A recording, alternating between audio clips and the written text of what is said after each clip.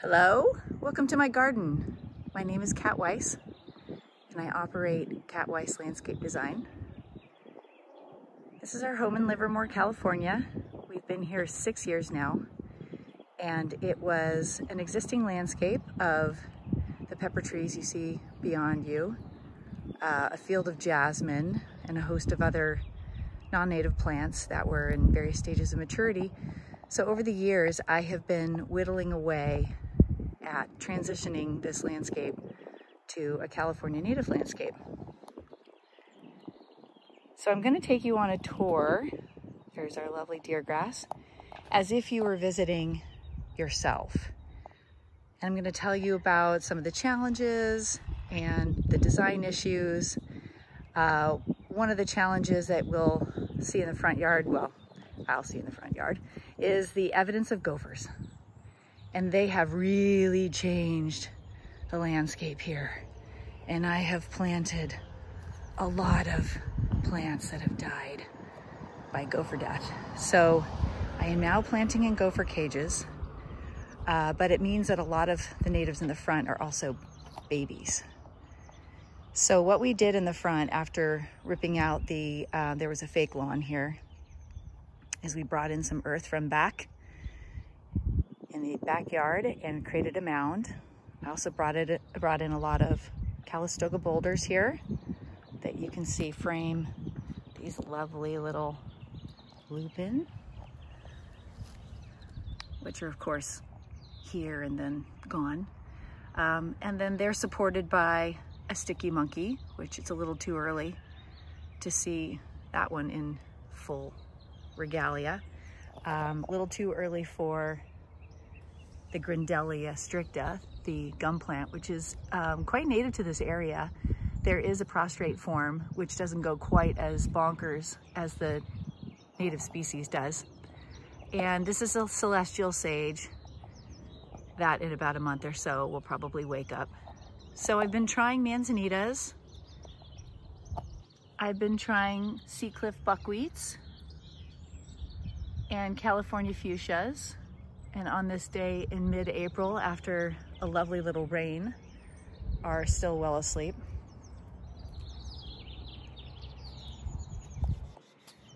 Over here, this is my beach area where I've used the 3 8 decomposed granite, not to be confused with the bluestone crushed stone or the ginger fines, uh, both of which are fine options for uh, using for ground cover. And this is the one upsize from California gold fines. And I like it because it really does look like granite. And it doesn't sink in as much as the California gold fines do. And we've got some fescues in here. I've got some yarrows. There's some penstemons. These are ocean pearl boulders, which are absolutely gorgeous. They've got a very silvery hue to them. We also have a garbage truck. Let's pause. The mound that you see before you, that's covered with black sage, Brandegee sage, pineapple sage, David's Choice Artemisia, Pacific Mist Manzanita was formed when we dug a pool. I know, don't hate me. My kids wanted it and it's awesome. We also recycled all of this Three River stone from uh, a previous pond in the back and built a wall. And up here in this front meadow, we've got the Baccharis pilularis, pigeon point. There's a little white sage. Here's my little baby blue oak. We also have blue grama grass, Bouteloua gracilis. And this stone edge you see here is Calistoga, comes out of Napa Calistoga. This is called single head and it stretches up into double head size, as you can imagine, the size of your head. And it's a good size for holding back gravel, making a little edge, delineating areas. And it's gorgeous too because it's got the gray tones and the warm tones. Here's an emerald carpet manzanita. And this is my prize baby oak that is a little challenging to see on video, I know, but he's up to about eight feet tall. And we ripped out a pistache tree this year to give him room. He was an acorn drop. Uh, the pistache, uh, as you know, has wonderful fall color, but it's just not feeding anybody. So I opted for the oak instead. Buckwheats do really well here in Livermore. That is a California buckwheat with all of its blossoms cut off and has yet to come back into flower. So I think uh, as long as the gophers don't keep attacking, things should grow nicely. I've got heat, I've got drip irrigation, I've got gopher baskets. This is a one of the California fuchsias that has spread, but it's contained in this area and I'm just gonna let it spread, do its thing. And here's the Sentinel Manzanita, just finished flowering. Got its little baby apples going. This is my newest bed where I'm trying out some things that I got from Pete Veilleux at East Bay Wilds. Got a little golden fleece, little baby, and a globe mallow, which has this gorgeous orangey color to its flowers. And we've got a seaside daisy, which obviously unflowering, doesn't look like much. I love using pots and natives do really well in pots often. Here is the magnificent Dudleya pulverulenta in all of its pre-flowering glory.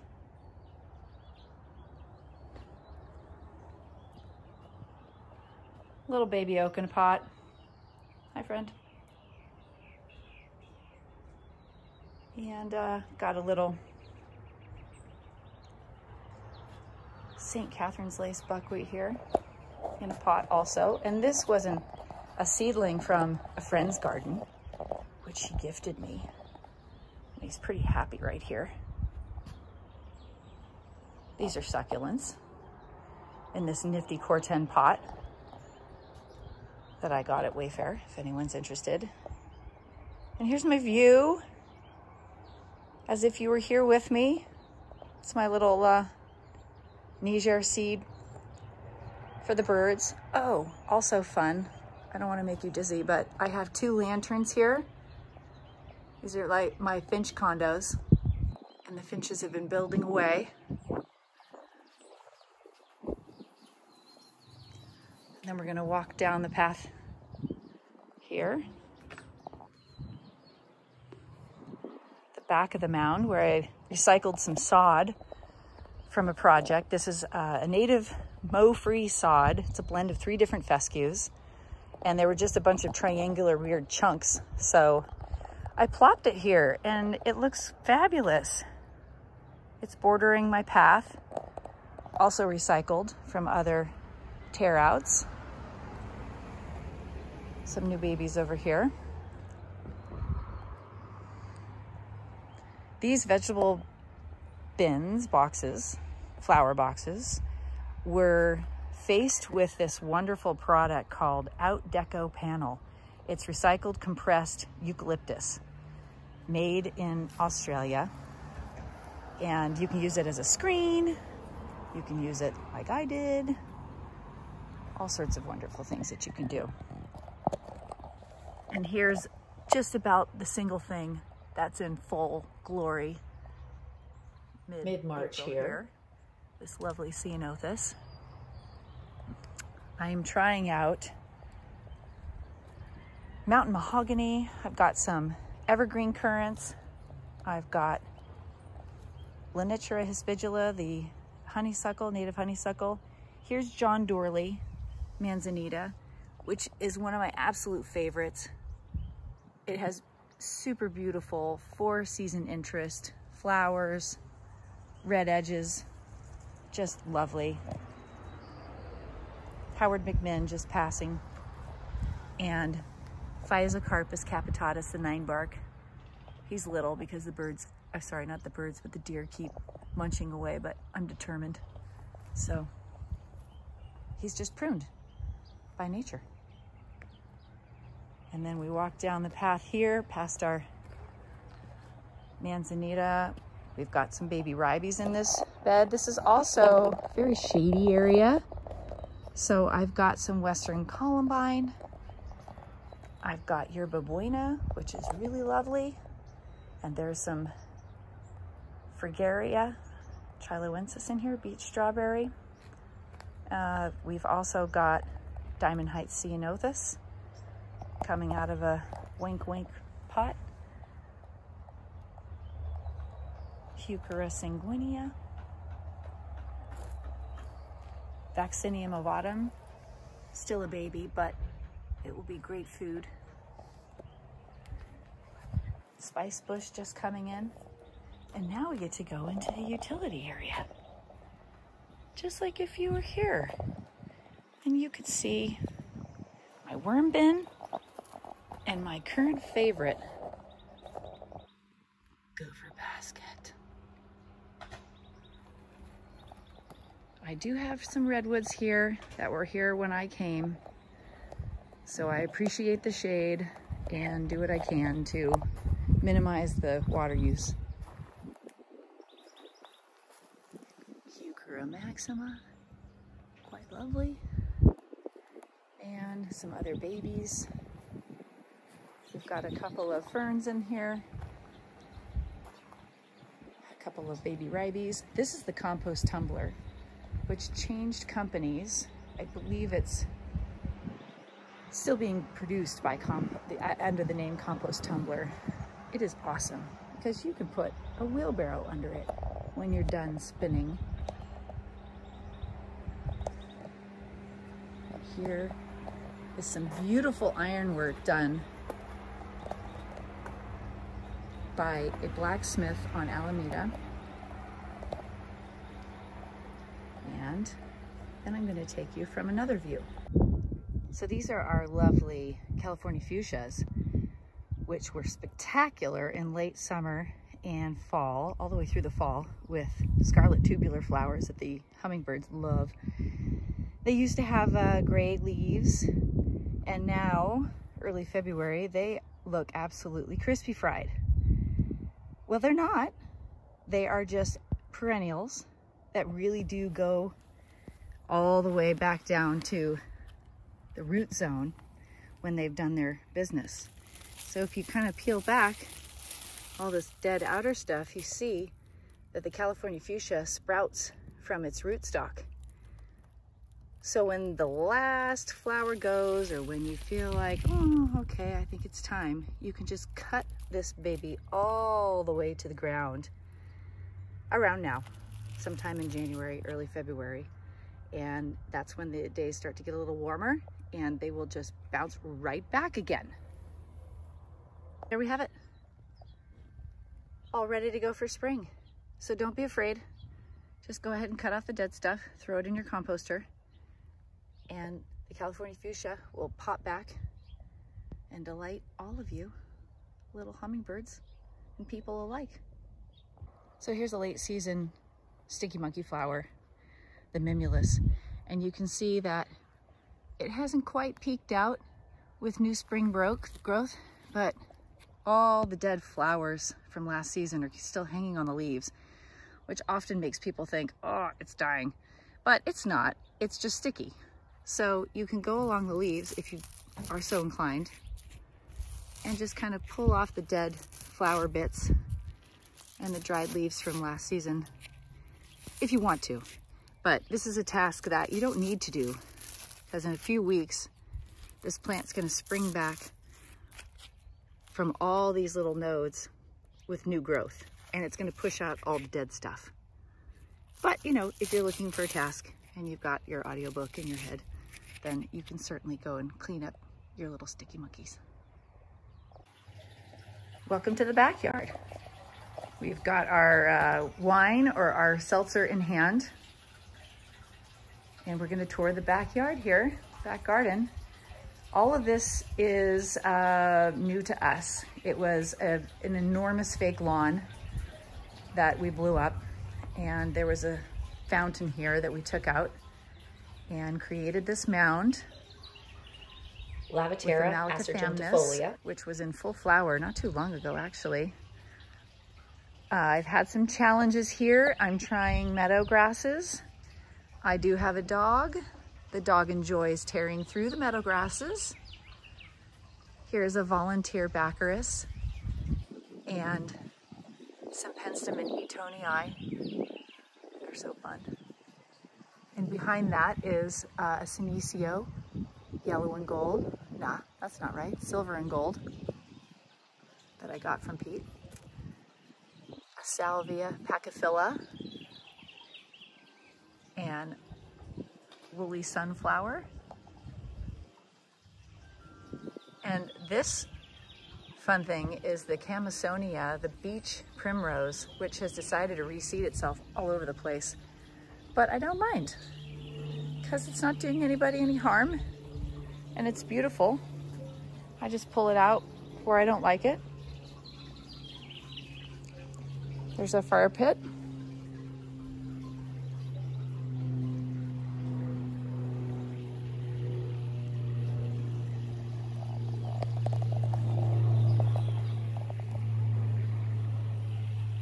Recycled wine barrel. Put some varnish on that puppy so that it doesn't fall apart can watch a game in here. I mean, I'm sorry, we're gonna watch Doug Tallamy's talk in here. And here's my pride and joy outdoor shower.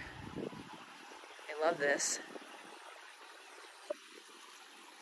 This is recycled manzanita from my good friend Maggie Cutler's property, cut by permission.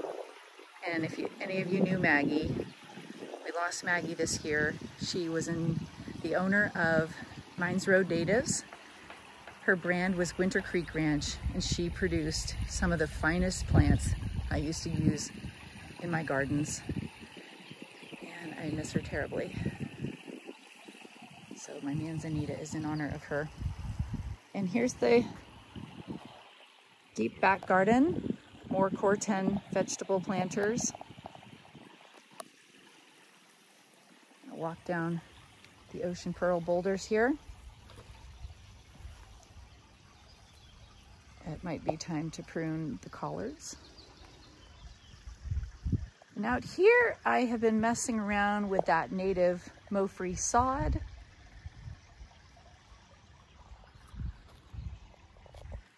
Little beach strawberry.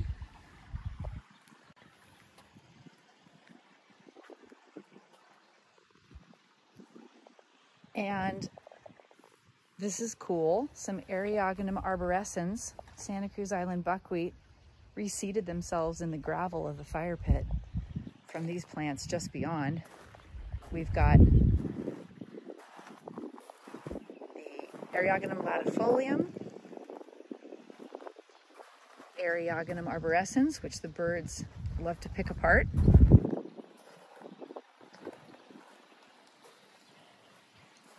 Eriogonum fasciculatum, California buckwheat.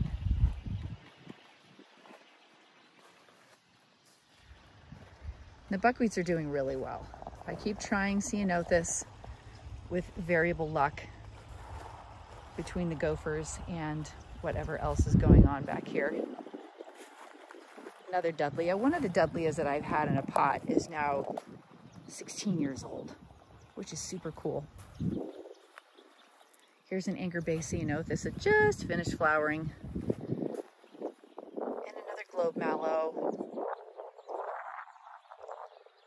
St. Catherine's lace.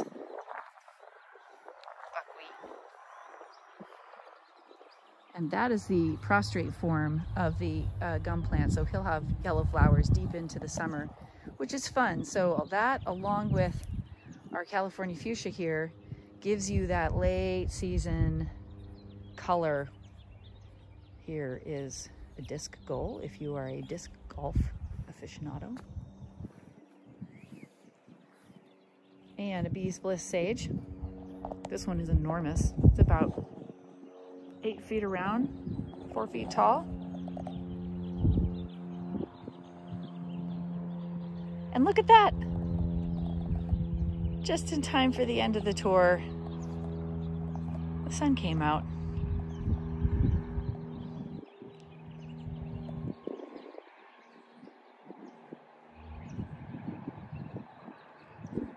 Thank you for visiting. I wanted to close by showing you some photographs of some of the beautiful plants in my garden at different times of the year, other than uh, the moment when this video was taken, um, to show you that there is plenty of color and wonderful species. So enjoy!